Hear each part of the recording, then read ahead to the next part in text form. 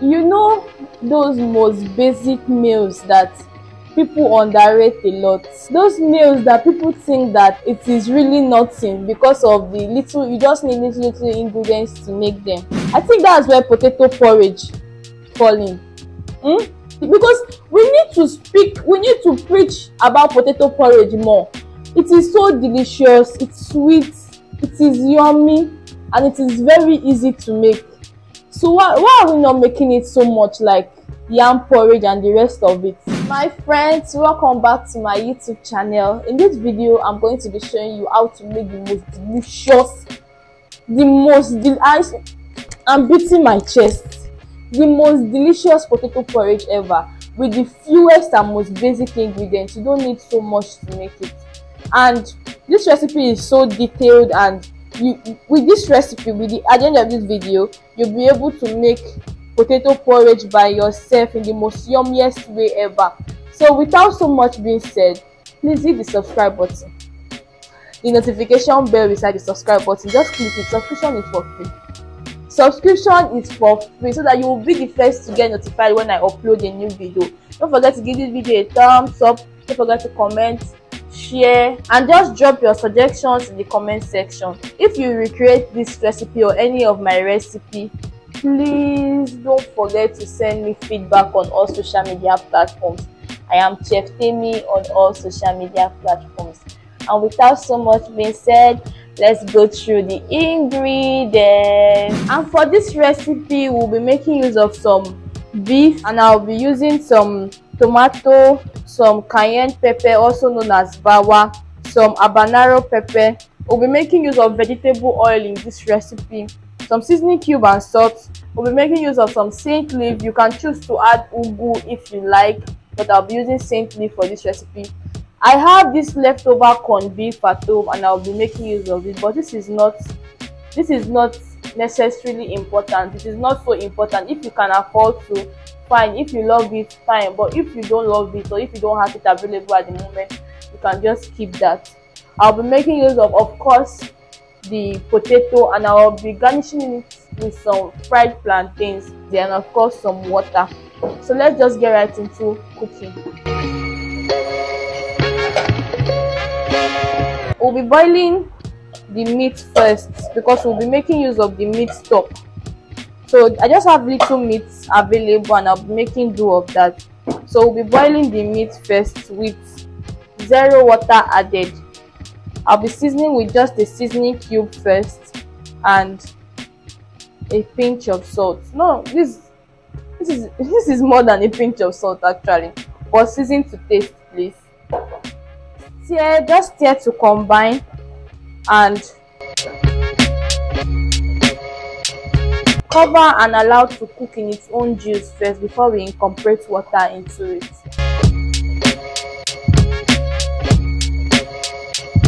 While our meat is busy cooking let's proceed to blend our pepper mix. And for our pepper mix we will be blending the tomato the cayenne pepper habanero and the crayfish with some onions. But this is the trick. If you don't want to add water while blending your pepper all you have to do is make sure the tomato is the first thing you are putting in the blender. That way the juice from the tomato helps to blend the rest of the pepper because tomato has a lot of water content in it. So the water content in the tomato helps to blend the rest of the pepper. Do you understand? So let's just add in our tomato to it i don't want to add any water because i will still be frying the pepper mix in oil while cooking the potato porridge um, base so i don't want to add more water to it because i want to fry it. And i and if i add more water to it the longer time it fries. Do you understand? Because we want to dry up the water on heat. So let's just go in with our tomatoes. I'm going to be blending the tomatoes with some cayenne pepper, habanero pepper and some crayfish. The use of the cayenne pepper is to give it that reddish color you love to see in your porridge. The reddish color of your porridge is what the cayenne pepper is used for. So I'm going to be using some cayenne pepper, habanero and some crayfish for flavor. I'm sure by now our meat will be properly cooked. So let's just check it out and go to the next step. I said it because I was perceiving the smell. It is dried already and because it is dried and there's no single water in it i'll just i don't want to take it off the pot because of stress. I'm just going to go in with vegetable oil into the meat. At this point you can let your meat fry a little bit but i don't want my meat to be dried fried. So i'm just going to put my vegetable oil into the meat and going straight with my pepper mix.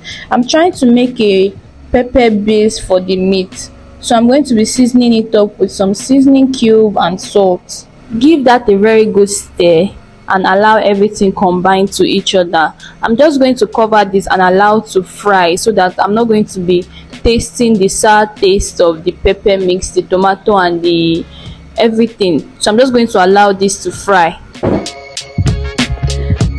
Oh now we will need to peel our potatoes and i really needed to sit down to peel these potatoes. Because i really don't enjoy peeling potatoes. Potatoes is sweet but i really don't enjoy peeling it. So let's get into work. And after a few minutes honestly i was not checking time but let's just say after five minutes of frying on medium heat. Our tomatoes and pepper is properly fried and by now the pepper sauce will have penetrated into the meat. So i'm just going to take that off the heat. Now is the best time to add in your corned beef if you will be using corned beef for your porridge. But corned beef is not necessary. But if you are going to be using corned beef now is the best time to add in your corned beef so that the corned beef can fry together with the pepper mix and every sour taste or raw taste in the corned beef and the pepper mix will leave and it will blending together. Now i'll go in with the sweet potatoes already washed and cut into big chunks. I'll be boiling it with water and i'll allow this to to cook till the potatoes is very soft. Now that our potato porridge is on fire let's begin to peel our plantain in preparation to fry the plantain. I love plantain so much. Plantain is like it's literally my best food. So i love to pair plantain with anything i eat. And it's not necessary that you add plantain to your dish but because i have plantain available i choose to utilize it for the potato porridge to stand as a perfect side for my potato porridge.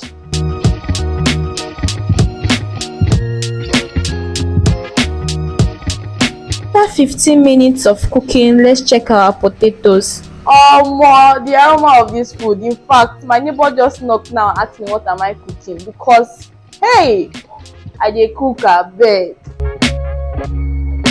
this is is smelling delicious already. I have not tasted it and i already know that this is going to bank what you want to do now is mash your potatoes. If you love your porridge your um, solids in your porridge being mashed all you have to do is just use your spoon to press it down just like this and it's going to be perfect. But if you don't like mashing your potatoes or yam in your porridge all you have to do is just tear to combine and serve look at the color and how good it looks. Who would have ever thought that it was made with vegetable oil and not palm oil? That is the power of cayenne pepper in your pepper mix. So now we're going to be finishing it up with some saint leaf for aroma. You can leave that or just add in that. And let's fry our plantain. Don't burn your plantain no. Stay with your plantain while it fries till golden brown. And just scoop it out of the oil when it is golden brown potato porridge and plantain always make a very perfect match if you've not tried it before. This is your sign that you should try it out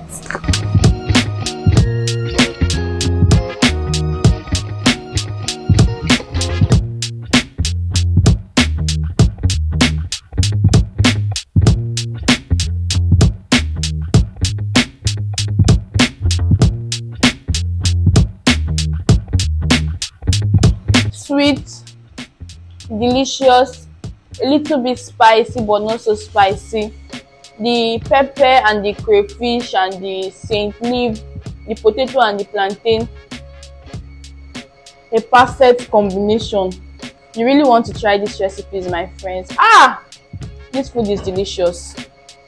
The peppered pomo and meat was very very soft the beef stock married the crayfish very well and it tasted so good. It tasted great. Please save this recipe. Try it out. Your family and friends will love it. And if you try out this recipe don't forget to send me feedback on instagram. I am chef kemi. And please just take one minute of your time or one second of your time to hit that subscribe button now. Don't forget to give me a thumbs up hit the notification bell right beside the subscribe button. Share like comment do the necessary things. I love you so much. You already know that right. Until next time see you. Bye. I love you. Mwah.